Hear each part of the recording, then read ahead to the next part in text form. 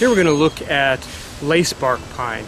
It's in the Pinaceae family, the Pinus genus, and Bungeana is the specific epithet. Let's take a look at its identifying characteristics. The bark on lacebark pine is probably its most recognizable feature.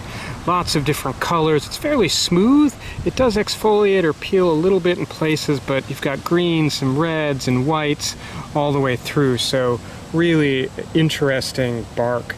Uh, makes it fairly simple to identify this particular pine. This is a three needle pine and you can see the needles are not as large as, as ponderosa pine or Austrian pine but maybe about the same length as eastern white pine but these are a little bit thicker and only in groups of three. The cone of lacebark pine uh, it's about medium size.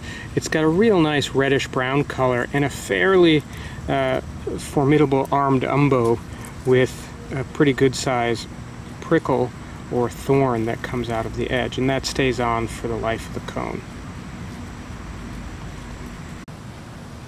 Many of the lacebark pines will be branching fairly low, maybe multi-stems, definitely a smaller tree really distinct, not as thick in foliage as some of the other pines. Certainly a nice addition to a landscape. It is not native to North America.